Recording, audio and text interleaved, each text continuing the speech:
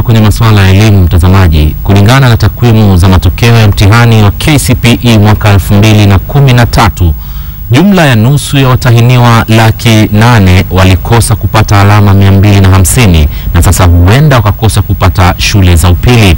Takwimu hizo za kushtua ndizo ambazo zimewafanya wengi kuzingatia kujiunga na taasisi za kutoa mafunzo ya kiufundi.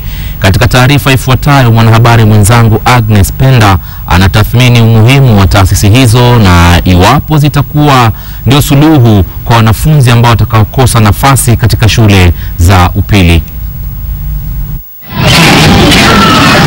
Mjini Voi, Ronald Mbele ni fundi wa nguo. Hapa anapokea wateja kila mara wanaotaka kushonewa nguo zao. Ni mfanyabiashara wa shughuli nyingi, na hapa ndipo anapopata pato lake kila siku. Lakini safari yake haijakuwa mteremko. Baada ya mtihani wa KCPE alikosa matumaini alipokosa nafasi ya kujiunga na shule ya upili, lakini wazo la kujiunga na taasisi ya kiufundi ya Voi ndilo lilomwokoa.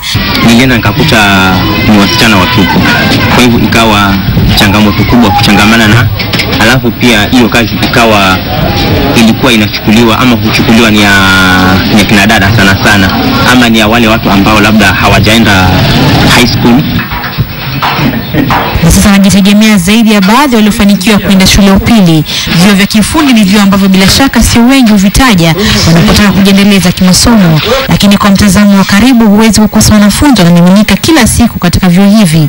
Masomo kama ususi, ufundi wa magari, useremala na kadhalika hufunzwa. Mimi kusema la kweli nimefaidi, sababu kuna wengine unapata kusoma yale masomo ambayo yako secondary ni ngumu, lakini ukija kama hapa kuna topic, kuna subject ambayo inaitwa artisan, na kusema ukimaliza huo mtihani wake utakuwa sawa na ule mwenye amesema amefanya form 4 unaweza enda hata university ukafanya kama ni diploma, degree na master. Takriban wote wanafunzi wanaojiunga na vyuo hivi hawajafika shule ya upili. Wengine wale waliojiunga punde baada ya darasa la nane, alama alizopata kukosa kufikisha shule za upili. nikajaribu form 1 form 1 pia sikufanya vizuri, so nikaambia wazazi wangu wasipoteze muda kupoteza pesa ya form 1 mpaka form 4 wanisomeshe ujuzi wangu ambao mimi mwenyewe kwa natarajia. Watahiniwa elfu kumi wengi wasione mlango wa kidato cha kwanza kufuatia alama za chini. Kuna Daktari Teresa Bitengu wa chuo kikuu cha Kenyatta. Wanafunzi kama hao wana uwezo wa kufanikiwa zaidi maishani wapo watazingatia taasisi hizo ambazo zimeonekana kudharauliwa. Ikifika miaka nne mtoto atakuwa ameweza, kwa mfano kama yeye alikuwa anajifunza juu ya kuwa seremala, ikifika miaka nne atakuwa amesaidika kutengeneza vyombo vizuri vyenye anaweza akauza simletee pesa. Zaidi ya nusu ya watahiniwa mtihani wa KCPE mwaka jana hawakufaulu kupata alama za kuwafikisha shule za upili.